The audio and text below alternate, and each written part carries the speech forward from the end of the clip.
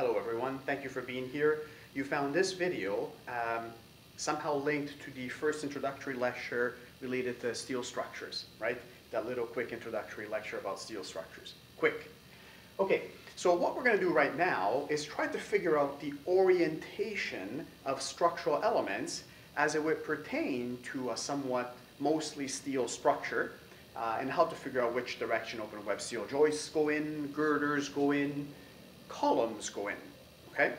Uh, I've set up a grid line here. It may or may not match what you have for your first project in working drawings, uh, but it doesn't matter per se. It's the concept that works best, okay?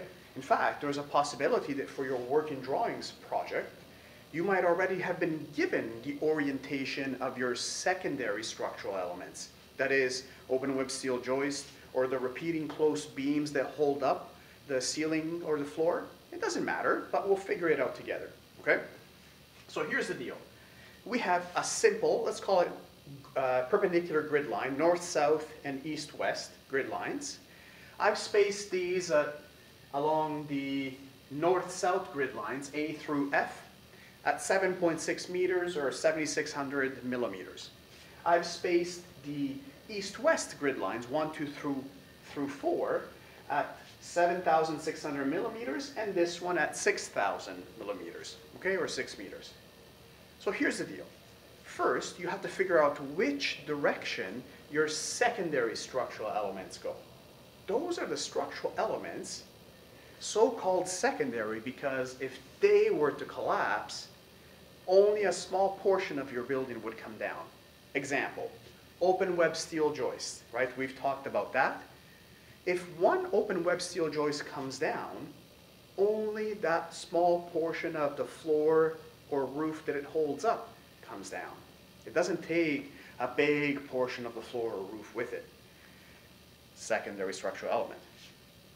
If the girder holding up all the open web steel joist comes down, then a big portion of your building comes down, right? Because all the open web steel joists attached to that girder also come down. If a structural column comes down, then an even bigger portion of that floor or roof come down. Heck, if it's a column further down, it even takes up many of the stories above it. That's a primary structural element. So you always start off for simpler buildings with your secondary structural elements. In our case, open web steel joist holding up the floors or roofs. So what you would do is you would, identi you would identify which of the grid lines, east-west or north-south, are spaced apart the furthest. Now, for our purposes, these are all the same, 7.6 meters or 7,600 millimeters. These are almost all the same. These two are the same as that, but this one is smaller. So this one here is kind of the smaller one, and it's in these grid lines. So the east-west grid lines have the smaller dimension. That means that your secondary structural elements, open web steel joists holding up the floor or roof, must be parallel to the longer dimension. The longer, or the wider, more widely spaced grid lines. Basically, that means that your open web steel joist, or whatever other structural element you're using to hold up the floor roof, goes this way. Okay? So here's your open web steel joist, if that's what you're using as your secondary structural element. Okay? So your open web steel joists are going this way.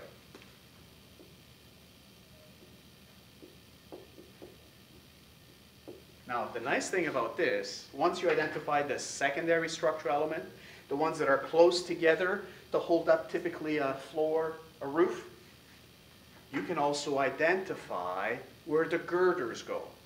And remember, girders are primary structural elements. They're the ones that hold up other structural elements. So a girder is basically a beam that holds up other beams. Or it's a beam that holds up open web steel joists or a girder truss is a truss or a joist that holds up other trusses or open web steel joists. That's why girders are deeper than the beams that go into it, or than the open web steel joists that go into it. Okay, now here's the cool thing. You ready? Once you know what direction the open web steel joists are going in, in this case, this way, east-west, the girders are perpendicular to that. Makes sense, right? If your open web steel joists are going this way, then they have to be held up by something perpendicular to it. So in our case, our girders, they always go along major grid lines. So our girder would be right here. Now, I'm using a pattern for my lines. Don't take that as the right pattern. I'm just using it to distinguish it, using colors as well, from other lines that I'm drawing. Okay? Now, where do the girders go? The girders go from column to column, or from wall to wall, or from wall to column, right? The girders have to be held up on something.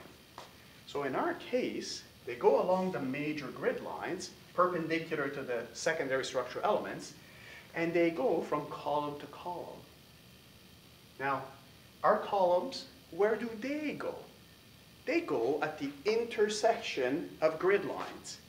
So our columns go here, here, here, here, here, here, and so on and so forth. Why did I not point to any of these exterior grid lines?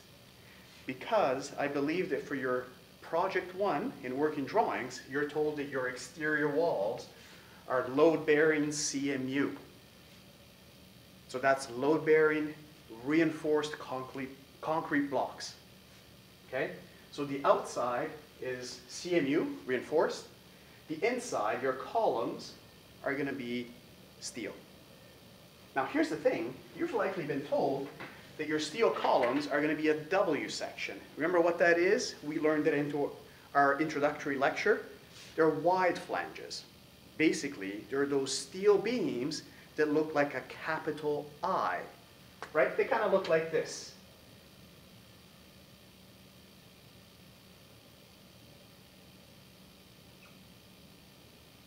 Right? A capital I with serifs at the top. And I'm just drawing it like this just to make it more obvious to you. Now the thing is, when you're putting these as columns, you can either orient them, put them in the ground looking like this, or looking like this.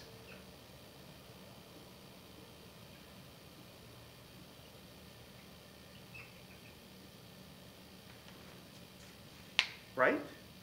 Because it does make a difference. So either you can orient them down into the ground looking like this, or you can orient them down into the ground as columns looking like that. Big difference. So how do you pick where to put him like this? Let me help you with that, because there is a good way to do it and a less good way to do it. If you've figured out which direction your girders go in, because you could figure out where your open web steel joists go, then you can figure out what direction your columns will go in, if they're of this form. Okay, you ready? If you have your girders going like this, then your columns will look like this. So from your orientation, they should look like a capital I, like this. Okay? So that means that then your next girder goes here from column to column. And that means that this column then is oriented like a capital I, like this.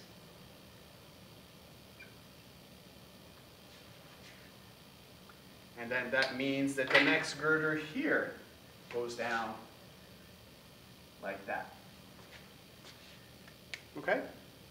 And it all starts with figuring out those secondary structural elements, the ones that are very close together to hold up the floor or roof. Okay? Now, how to connect these girders to those columns? How to connect these open web steel joists to those girders? Because you're probably going to have to show that, right? Then I'm going to give you a tip. Now, it's not a tip because it's not hidden, okay? Go check out your textbook. That is Building Construction 3rd edition, the one that you're using. For connections between your steel girders, W sections, and your steel column, W sections, check out chapter 19, figures 1910 to 1913. In fact, while you're at it, check out the whole chapter because lots of good stuff there. Okay? For connections between open web steel joists and your beams, check out chapter 18. Specifically, check out figure 18.19e. But all of chapter 18 is good for that. In fact, that will help you with connecting your open web steel joist to your CMU walls. I might have even given you that image in the lecture that I posted for us, but go check it out because that's important, okay? Now, I think what we could do then is maybe take a break here. I'll upload this video, and then maybe we can talk a little bit about how to frame around stairway openings and how to go about then figuring out the depth of your beams, open web steel joists, and that sort of stuff, given a grid line like this. I have a feeling for your project one in working drawings, you were told what the dimension of these open web steel joists would be, what the dimensions of these girders and columns would be, right? But what if you didn't know? How would you approximate it? All right. I lied. I have one more thing I want to chat about there's a chance that on this side of your building, perhaps your open web steel joists go in a different direction.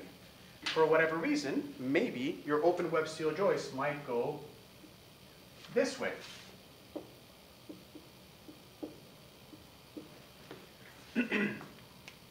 right? For whatever good reason. Is that a problem? No, not really. By now you're good with this. And that's because once you know the direction of the open web steel joist, then you know that the girders are perpendicular to that, right? So that means the girders go here. And then your open web steel joists go here, and then your girder goes here, assuming this is not an exterior wall. And once you know your girders, then you also know the direction of your columns, how to install those in the ground for the interior columns. Because again, the exterior walls are load-bearing CMU, reinforced CMU. The problem comes when you start figuring out how to align columns and frame beams when you get these oriented open web steel joists going this way and the ones oriented this way. What happens to say a beam, a column like that? What happens there? That's a bit of a longer answer, and that's probably better discussed live, maybe one-on-one -on -one or during our class time. Now, let's take a break and we'll come back and chat maybe a little bit about framing around stairways and approximating the depth of, say, open web steel joists or beams. See you shortly. Thank you for your time.